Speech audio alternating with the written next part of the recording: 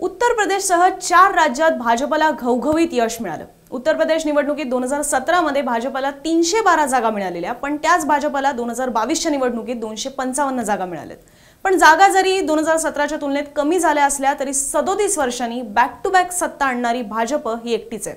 शिवाय स्वतःच्या जोरावर भाजपने सत्ता पुन्हा एकदा युपी सारख्या राज्यात आणल्याने त्याला एक वेगळं महत्त्व आहे. पण हे सगळं कशामुळे शक्य झालं? खरं तर कोरोना काळात गंगेकिनारी आपण मृतदेहांचा खच पाहिलेला होता. शेतकरी आंदोलनं झालेली होती बेरोजगारी वाढलेली होती पण अशा परिस्थितीत सुद्धा उत्तर प्रदेशात भाजपला यश मिळालं तर त्यात सगळ्यात मोठं कारण कुठलं मानलं जात असेल तर त्या आहेत योगी सरकारच्या योजना. या व्हिडिओमध्ये आपण समजून घेऊयात की कोणत्या त्या पाच मोठ्या योजना आहेत ज्यांनी योगींना पुन्हा मुख्यमंत्री पदाच्या खुर्चीवर विराजमान केले.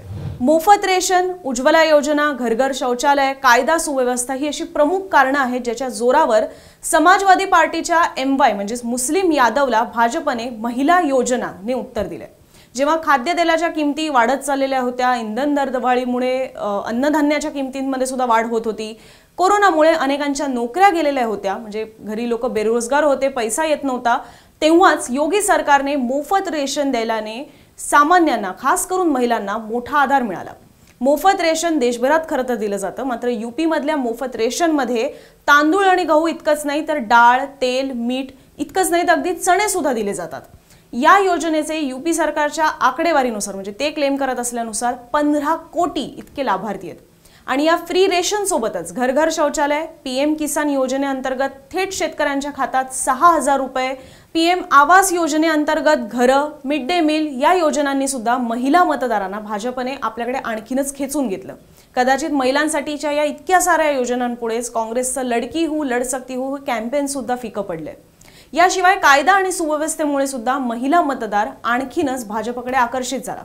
नॅशनल क्राईम ब्युरो स्टॅटिस्टिक्सनुसार महिलांवर अत्याचारासंबंधी जे गुन्हे दोन हजार सतराला छप्पन्न हजारावर होते ते दोन हजार वीसमध्ये एकोणपन्नास हजारावर घसरले. अवघ्या चार वर्षात अकरा टक्क्यांनी ही महिला अत्याचाराविरोधात झालेली घट आहे.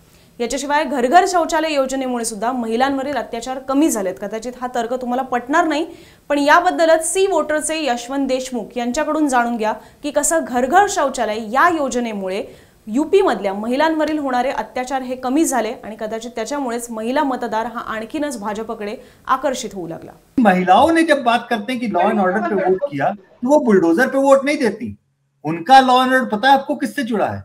उनका लॉ एंड ऑर्डर शौचालय से जुड़ा है।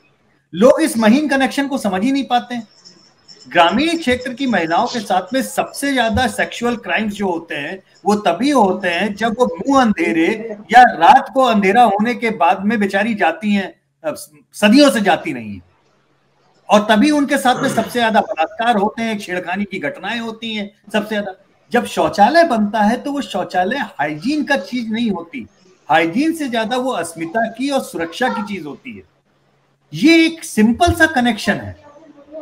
इसको लोग इसको लोग सोचते हैं कि लॉ एंड ऑर्डर बुलडोजर नहीं। महिलाओं ने बुलडोजर पे वोट नहीं दिया है। महिलाओं ने लॉ एंड ऑर्डर पे, उस लॉ एंड ऑर्डर पे वोट दिया है, जिसको, जो उन्हें शौचालय के थ्रू मिला है। उत्तर प्रदेशात यंदा सात फेजेसमध्ये मतदान झालं. यंदा महिलांच्या मतदान टक्केवारीत सुद्धा वाढ आहे. पुरुषांच्या तुलनेत महिलांनी जास्त मतदान केलंय. सातही टप्पे मिळून युपीमध्ये बासष्ट टक्के महिलांनी मतदान केलंय. तर त्याच तुलनेत पुरुषांचं प्रमाण हे एकोणसाठ टक्के आहे. खरं तर या ज्या सगळ्या आता योजना सांगितल्या मोफत रेशन असू दे घरं असू देत मिड डे मील असू दे किंवा सिलेंडर्स असू देत जे उज्ज्वला योजनेअंतर्गत मिळत असतात ह्याच्यामुळेच महिला मतदार हा जास्त भाजपकडे झुकला गेला असं म्हटलं जातं.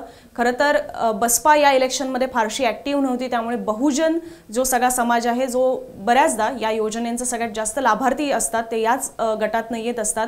ते सुद्धा इकडे आकर्षित होऊ लागले. सपाचा सुद्धा जो जी वोट बँक आहे त्याच्यात सुद्धा या महिला अनेक होत्या ज्या या योजनांमुळे योगी सरकारकडे आकर्षित झाल्या. इतकंच नाही तर काँग्रेसने सुद्धा महिलांच्या भोवती आपलं कॅम्पेन ठेवलेलं होतं. अगदी चाळीस टक्के महिलांना उमेदवारी सुद्धा दिलेली होती. पण तरी सुद्धा महिलांच्या भोवती जो मगाशी अगदी सुरुवातीला उल्लेख केला की महिला आणि योजना ही जी मोदी सरकारची स्ट्रॅटेजी होती ती कुठेतरी सक्सेसफुल होताना दिसते आता पुढे सुद्धा खरं तर मोफत रेशनची योजना ही मार्च दोन हजार बावीस पर्यंतच होती जेव्हा या निवडणुका आता संपलेल्या आहेत. तर महिला आणि योजना या एम वाय मॉडेलचं आता पुढे नेमकं काय होतं बघायला हवं. जसं आपण पाहिलेलं होतं की अरविंद केजरीवाल यांची जी आश्वासनं होती दिल्लीमध्ये आणि जे त्यांनी मॉडेल दिल्लीमध्ये लागू सुद्धा केलेलं होतं फ्री इलेक्ट्रिसिटी असू दे मोहल्ला क्लिनिक असू दे आरोग्य आणि शिक्षण याच्यावर ते सगळ्यात जास्त फोकस करतात.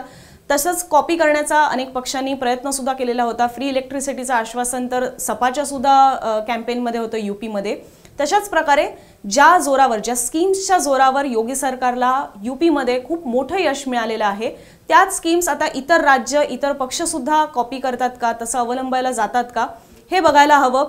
या स्कीम्स युपीमध्ये आणखी आता सत्ता आल्यानंतर सुद्धा किती कंटिन्यू राहतात हे सुद्धा पाहायला हवं.